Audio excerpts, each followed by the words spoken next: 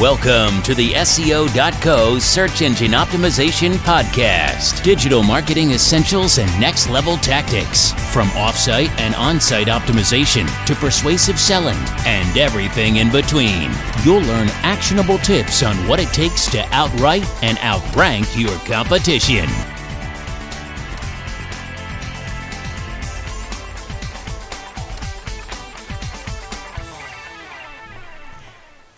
Welcome back. Today we're going to be delving into content marketing. Content strategy is at the heart of SEO.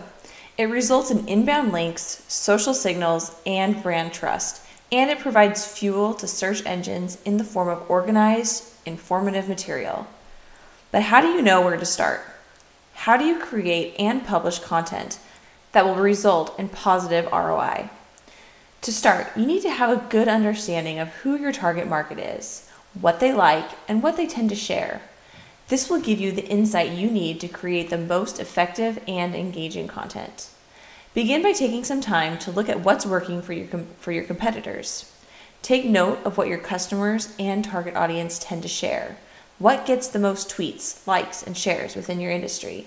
Is it breaking news, how to guides, industry expertise, or simple little tips? Now that your website is set up and you're publishing amazing content, it's time to start using it to generate more business. This is called content marketing. Content marketing accomplishes several things. First, it attracts inbound links to your website, which strengthens your domain authority and improves your search engine rankings. It also adds to the wealth of content on your website, effectively dropping another hook in the water every time you publish a new page of content which increases the likelihood of being found by potential customers in the search engines. It also establishes your brand as a thought leader and industry authority, building trust with your readers and resulting in an increased conversion rates, leads, and sales. Every link pointing to your website does more than just improve your search engine rankings. They can also become a free, long term, passive source of highly targeted referral traffic which is the best kind. Before you can get started with content marketing, you need a plan. And before you can create a plan, you need to understand your audience. Here are a few things that you can ask yourself when you're beginning your content marketing strategy. First, do you have true thought leaders that have original insights or opinions? Do you have unique research on new industry trends you can share? Do you have services or products unique to your industry? Who are you trying to reach through content marketing? And what challenges are they trying to overcome? The next thing you're going to want to consider when you get started with content marketing is your frequency and volume. How dedicated are you going to be to content marketing? Some companies prefer to do a few in depth, industry leading white papers each year and focus all their efforts on them.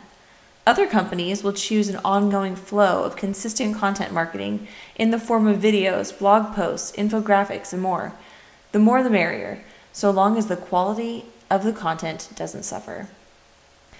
You're also going to want to consider capabilities. If you're going to focus on white papers, articles, blog posts, and other types of content that are text based, you'll need a strong writer on your team with subject material expertise. If you'd like to focus your efforts on videos, do you have professional recording equipment or someone who can create professional animations? If not, please realize that subpar content will do you no good. In fact, it will reflect poorly on your company and potentially cause harm to your brand and conversion rates. There are three C's of content marketing to keep in mind creativity, consistency, and capturing. Creativity create content that's unique and memorable, and you'll receive more recognition. Be creative and leave room for flexibility. You never know when something might come up in the news that you could put a spin on, or a new trend might emerge. One of my favorite ways to be creative is to tie in popular holiday themes with content when those holidays are near. Consistency. If you want your content marketing strategy to yield maximum benefit, it's important to be consistent. Whether you maintain four blog posts per month or four blog posts per week, stay consistent so customers and followers learn what they can expect. And last, capturing. I'm not sure why this term has been coined. It would make more sense to call it optimization, but capturing simply refers to measuring and understanding information with regard to how well your content is performing. Measuring allows you to track which efforts tend to drive the most traffic and attract the most interest, leads, and sales.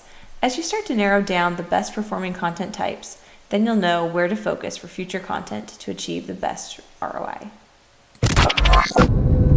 Thank you for joining us on the SEO.co podcast. We appreciate your time. Be sure to rate, review, and subscribe to the show and visit SEO.co for more resources based on today's topic, as well as access to more podcast episodes to help you improve your site's long term SEO success.